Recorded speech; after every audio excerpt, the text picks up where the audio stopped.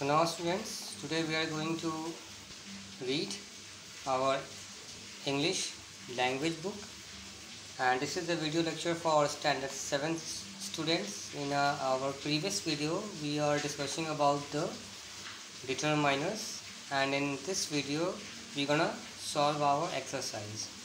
Okay students, so let's take it out your book and take out the page number take out the page number 120 okay? Page number 120 as you can see over here students page number 120 so this is a question of mcq based okay? So as you can see here there are dash kittens in the basket. There are six kittens in the basket because it is plural kittens are plural so six Third number, this pen is not mine, this is hers. This is a tap root. Fifth number, an indigo colored vehicle just passed by. Sixth number, why are you giving away the toys? The old boys play very rough games. 8 number Aladdin had a magic lamp. Africa is one of the poorest continent.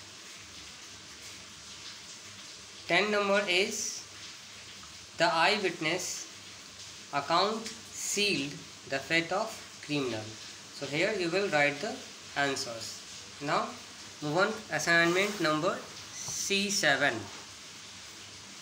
so it is the assignment where we have to complete the given passage. Complete the passage given below choosing the correct alternatives.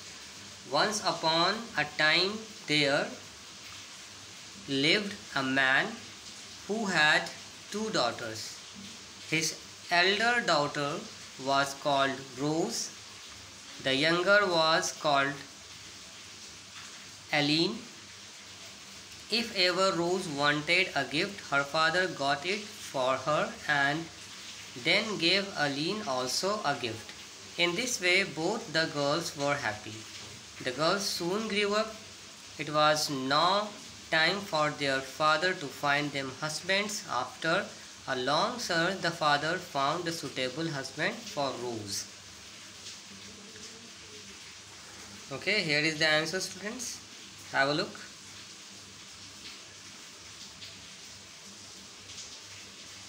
okay now turn out the page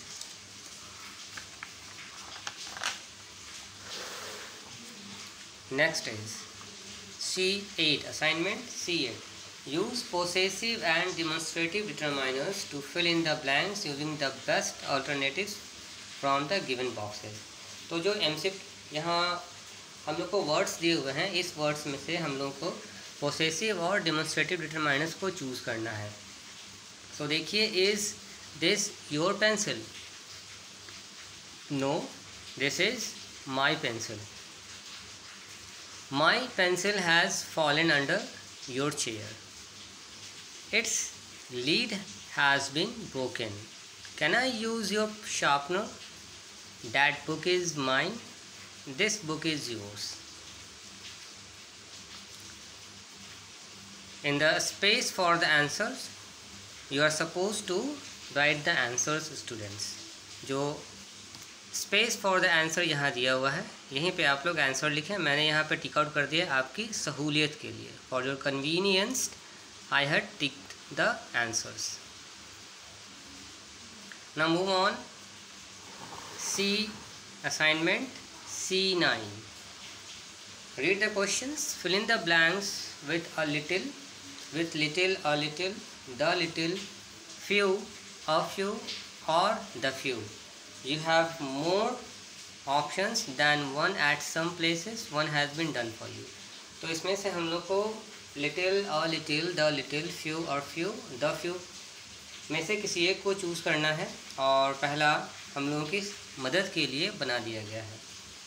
So the second question, B number question is asking that there were dash persons in the party as if as it was very cold yesterday क्योंकि कल बहुत ज़्यादा ठंड थी इसलिए party में बहुत कम लोग आए थे so few persons there is still a little hope that we will survive अभी भी एक थोड़ी सी आशा बची हुई है कि हम लोग जीवित रहेंगे a little milk left in the container to spilled on the slab यानी कि कंटेनर में ज़रा सा भी दूध अगर बच गया तो वो स्लिप कर सकता है स्लैब पे।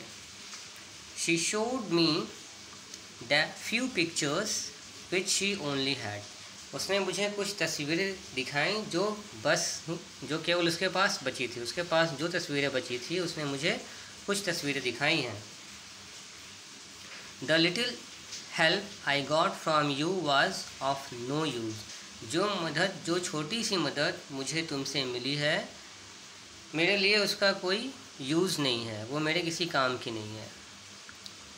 We can still find few old cars in the city अभी भी हम लोग अपने शहर में हमें कुछ पुरानी कारें मिल जाएँगी।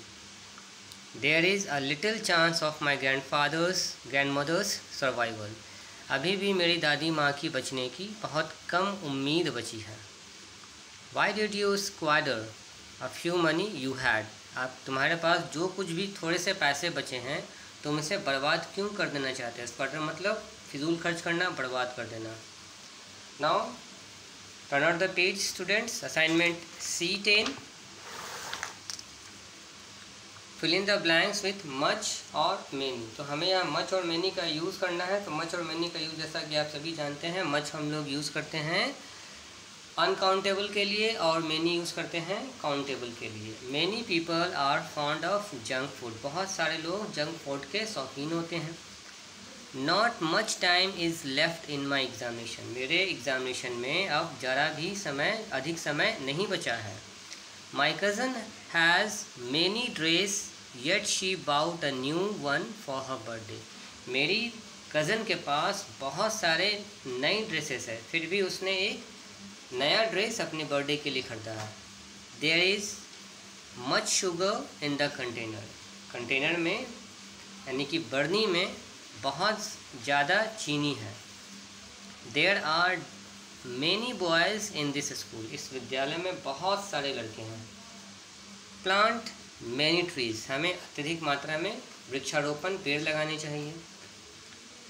Dash DC dash discussion on this point seems useless much discussion on this point seems useless यानी कि इस मुद्दे पर अब बातचीत करना व्यर्थ है। I have much regard for my principal मुझे मेरे प्रधानाध्यापक के लिए बहुत ही ज़्यादा इज़्ज़त है। हम सभी को होनी भी चाहिए। So that is all for today's class students आज के लिए हम लोग क्लास में इतना ही करते हैं। हम लोग का चैप्टर थ्री डिटरमाइनर ग्रामर में कंप्लीट हो चुका है। आई होप आप लोगों को ये सारे एक्सरसाइजेज असाइनमेंट्स समझ में आ गए होंगे। Have a good day